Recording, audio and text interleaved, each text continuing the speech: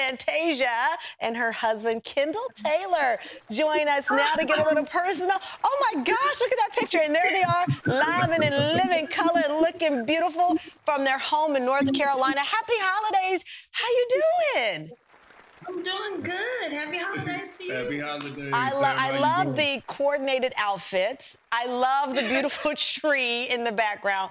But the thing I love most right now, we are getting a new member. I say we, like I'm a part of the family.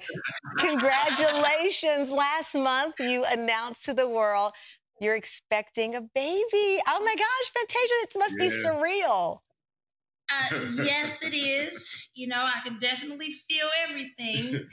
Um, third child in, yeah. a little older now, so, so it hits different. It hits a little different.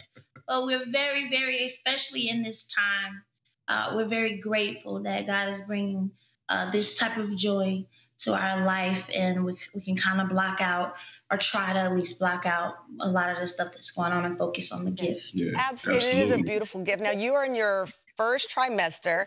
Again, there you are in the off the shoulder Tasia beautifulness. How are you feeling? I saw you take that pregnancy breath where you're like, whew, let me hold on. well, you get it. You I know that pregnancy I'm breath. yes, I feel good. Mornings are a little tough for me. But um, again, this is my third time riding this rodeo, so I got it. And and I think the greatest gift that I have is a supportive husband that won't let me touch anything, do anything. I wake up to breakfast. So it makes it a whole lot better. Aw, Kendall, I just love the way you're looking at her. You know, they always talk about the pregnancy glow for a woman. I see you're glowing as well, not just because of those lights in the house on you, but it's just the, how um, how yeah. does it feel? You guys have the, the, oldest child, you have 24, all the way mm-hmm. down to what, Dallas is how old now? Nine. Nine. Just turned nine. So from yeah. the 20s to a nine-year-old, are you ready for this range? It's it's different, but at the end of the day, uh, one of the things that led us to actually make that decision, because this was intentional, was that we were both super young when we had our children. My son Trey is 24. I am actually a grandfather. I have two grandboys, Cohen and Kyan. Um, but we also didn't know a lot. You know, uh, we were both trying to build businesses, find ourselves and our identity. So to be able to bring a child into a space where we know exactly who we are yeah. and what we're called to do, um, I just think it's the perfect environment for a little bundle of joy. And so yeah. you were open about, you know, this journey um, with fertility and wanting, to your point, Kendall, this baby at this time. How was that for you, Fantasia? Well, you know, at first we thought we were gonna have to do different things. Like everybody was suggesting um, IVF because it wasn't happening. This is the three-year journey we've been on. Yeah, hmm. seriously. And then we went back in and I found out that one of my tubes were closed. We went back and then she says, Well, now that one's open, the other one's closed. we were just kind of like, okay, wait a minute. We decided, let's just pause. Let's let God be God. And if this is something that He wants for us to truly have. Because my mother brought up the idea. She's like, mm-hmm. we were both like, let's just travel. We don't yeah. need any more kids. We have grandkids. And my mom was like, you guys will regret not having a love child. So we blame this on her. Yeah. But we said, let God be God, and we're gonna sit back and just see what happens. And truly, Tam, I kid you not, I forgot about it. I stopped following the tracker because I had started um, what, what is the Glow app? Yeah.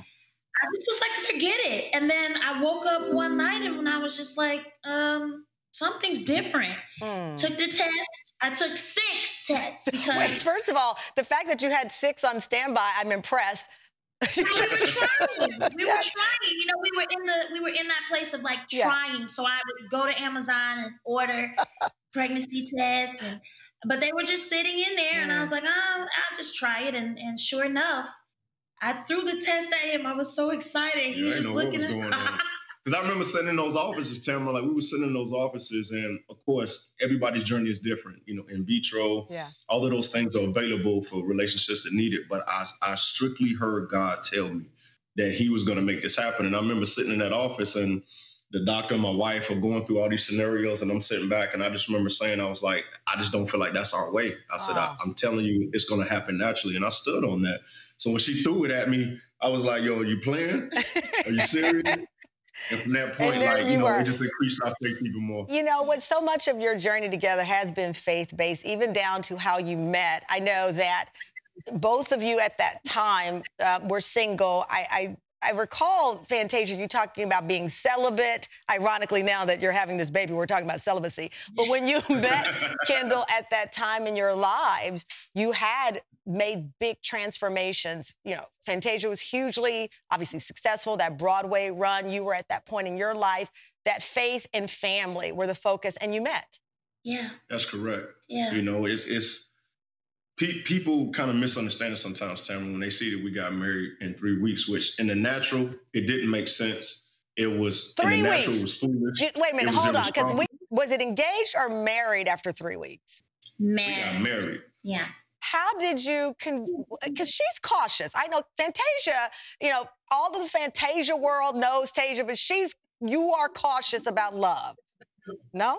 Yeah, but if but you're gonna be pretty shocked because I was kind of the one like, I love you. I mean, what'd you say? So I love you too. And then I was like, I love you enough to marry you. And what'd you say?